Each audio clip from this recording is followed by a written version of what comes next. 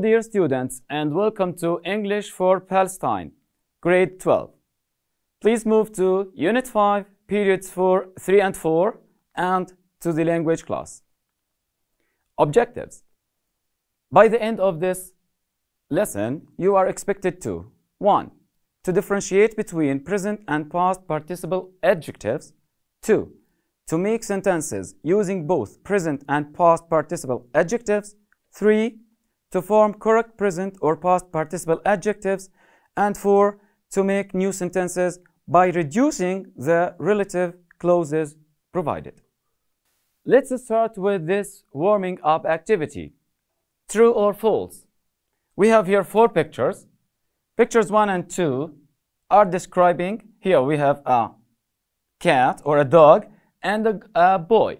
Let's read the first sentence. The dog is frightened. And number two, the dog is frightened. What do you think? Is the dog here frightened or frightening? So the answer is true. Here, the dog is frightened. Number two, the dog is frightened. Is it frightened here? Let's see the answer. No, it's false. It's not frightened. So, what can say about it here? Let's move to picture three. The dog is frightening. Is it correct? Yes, it's true. So, the dog here sends or receives the feeling. It sends the feeling. So, it's frightening. Here, in picture one, the dog received the feeling or it has the feeling. So, we describe it with the past participle form of the verb. And finally, picture number four. Let's read the sentence. The dog is frightening. So what do you think? I'm sure you got the answer. Here the dog? Yeah, it's not frightening. The dog is what? Can you tell me? It's frightened. Exactly. Let's move to this summary. What's the difference between adjectives that or which are made by the past participle form, you know, when we are talking about past participle, past participle forms, um, we have the regular um, past participles and the irregular past participles. Here, ed symbolizes the regular past participle forms, and the irregulars have um, many endings. So here, it's just a sample.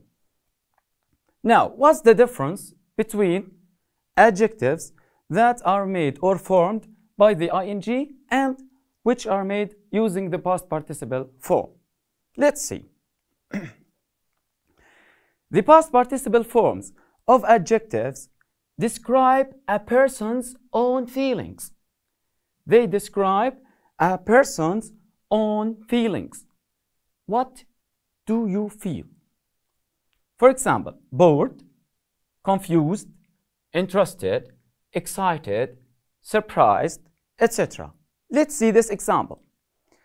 This lesson is difficult. So what's the feeling that I have? I am confused. I feel this. I feel this state. I have this adjective. I feel it. So I am confused. Kate had nothing to do. So she was very bored. Yeah, because she has nothing to do. She feels that this, or she, she feels this. Now the second group of adjectives, the ing form. It describes a situation, a thing, or a person that causes the feeling. For example, boring, confusing, interesting, exciting, and surprising. We have here uh, two examples. This lecture is very confusing. I don't understand. So the lecture causes this feeling. It's confusing.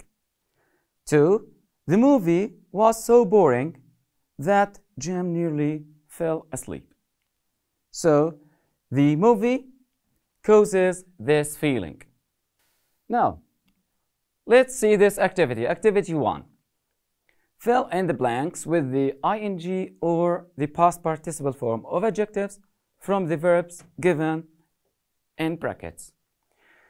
Please take two minutes, read these three sentences, and try to decide whether the ing or the past participle form is needed to fill in these blanks. Good job. Let's check up your answers. Start with sentence number one. Sammy was, we have to use the uh, form of annoy when he missed the start of the film. What do you think? Sammy was annoying or annoyed? The right answer is Sammy was annoyed. He feels that. He doesn't cause it. He feels it. So Sammy was annoyed. Number two, trying to understand English grammar can be so frustrate. What do you think? Can be so frustrated or frustrating? Good job. So can be frustrating. It causes the verb. Sentence number three. Ali's parents were, we have to use disappoint, by his exam results. Ali's parents were exactly disappointed. Yeah. Let's continue. Now, the second part of this activity. Fill in the blanks again with ing or past participle adjectives from the verbs given in brackets. Read 4, 5, and 6. Try to find the best or the suitable answers. You have two minutes. Good. Let's see your answers. Number 4. Many people like the, we have freeze here, fish, more than the fresh one. So many people like the frozen. Yeah, they like the frozen fish more than the fresh one. Number five, the results of the game were surprised. We have to use it here. The best team didn't win. The results of the game were surprising. Yeah, surprising. And number six here, you need to send a write application with your CV. The best or the correct form of write is written. You need to send a written application with your CV. Yeah, activity number two. Choose the correct answer. Take two minutes, read these sentences, and circle the correct answer. Thank you. So, let's start with number one. Have you found the, the right answer? Let's see. One, thinking that rubbish has no value is a idea, is a mistaking or mistaken. It's mistaken. Yeah. Number two, his excuse for being late wasn't very one. Nobody really believed it. So, wasn't convincing or convinced? Great. Wasn't convincing one. Number three, she is a very person who always thinks of other people. And the answer is exactly. She is a very caring person who always thinks of other people. Continue now with 4, 5, and 6. Please take two minutes and try to find the correct answers. Well done, guys. Now let's continue and check up your answers. Number 4. I was there at the time, but my friend was late. I was there at the Yeah, at the agreed time. Number five, we usually try to buy local products rather than ones. Importing or imported? Exactly, imported. Now, number six, he was taken to hospital because they thought he had a arm breaking or broken. Broken arm.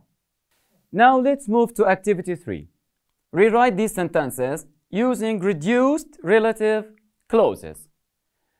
As you have studied reduced relative clauses we have two types of reduced relative clauses. The active redu reduced relative clauses and the passive reduced relative clauses. Please read these three sentences and try to rewrite them using the reduced relative clauses. Take two minutes. Thank you. Now, I'm sure you've done well. Let's start with number one. Anyone who finds my lost bag will get a reward. So, the answer is anyone finding my lost bag will get a reward. So, how do or what do we do when we rewrite such sentences? Please follow up here. Anyone who finds we have here the relative pronoun, okay? And it's followed by a simple present tense. When we rewrite it using the reduced relative clause, we start with the subject, we delete the relative pronoun, we put this verb in the infinitive form, then we add the ing, so it becomes anyone finding my lost bag will get a reward. It's a or an active reduced relative clause. Number two, let's see.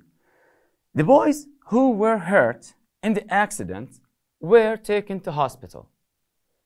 The boys who were hurt in the accident were taken to hospital. And the answer for this sentence is The boys hurt in the accident were taken to hospital. Exactly.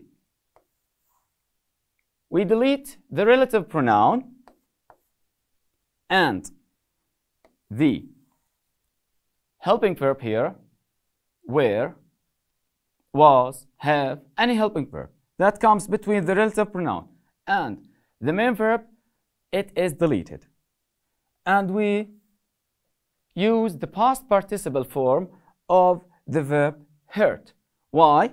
Because it is a passive.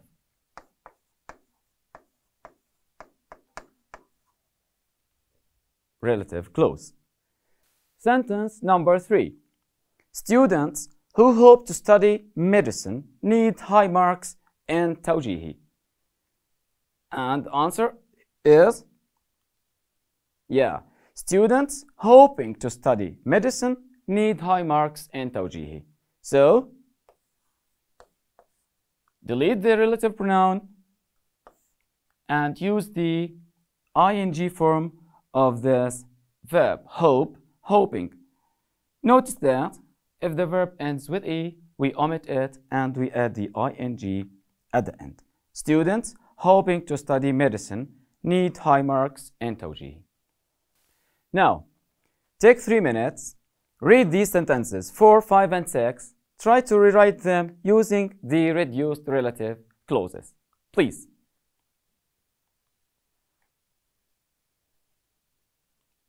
Well done. Now, let's let us check your answers. Sentence number 4. Friendships which are made online are just as real as face-to-face ones. Friendships, which? Now, the answer is friendships made online are just as real as face-to-face ones. So, relative pronoun, the auxiliary verb are deleted, and the past participle form of this verb is used here as an adjective.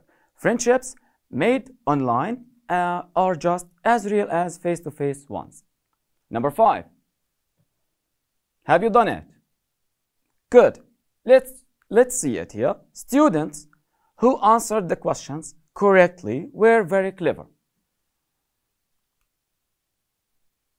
Students answering the questions correctly were very clever.